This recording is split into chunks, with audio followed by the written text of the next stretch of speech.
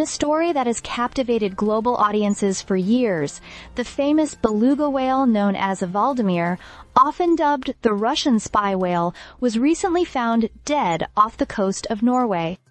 This tragic conclusion to Hvaldimir's journey brings to an end a saga that began in 2019 when the whale first made headlines for its unusual behavior and mysterious origins.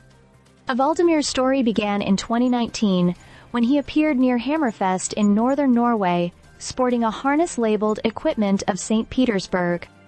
This immediately sparked widespread speculation that the whale had been trained by the Russian military, possibly as part of a reconnaissance mission.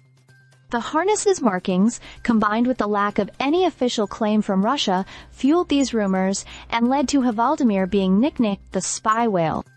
Despite the speculation, no concrete evidence ever emerged to confirm Hvaldimir's role in any military activities.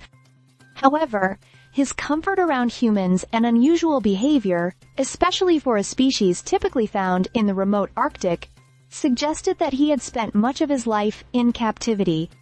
This led experts to believe that Hvaldimir may have indeed been trained by humans, though the exact purpose of this training remains a mystery. Over the years, Hvaldimir became a beloved figure, not just in Norway, but around the world.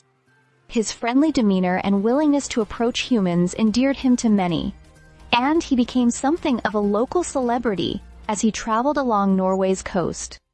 However, his fame also brought challenges.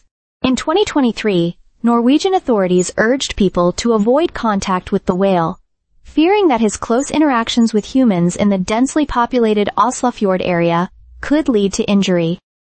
Sadly, on August 31, 2024, Hvaldimir's journey came to an end when he was found dead near Stavanger on Norway's southwest coast. The cause of his death remains unknown, but his passing has left many in mourning.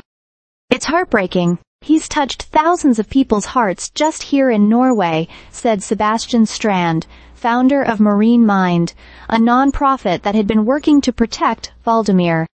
Hvaldimir's story is a poignant reminder of the complex and often tragic intersection between human activities and the natural world.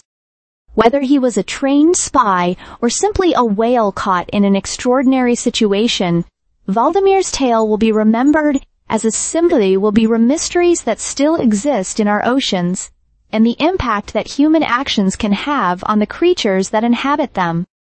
As the world reflects on his life and death, Hvaldimir's legacy will undoubtedly continue to inspire fascination and compassion for marine life. Stay subscribed for more videos.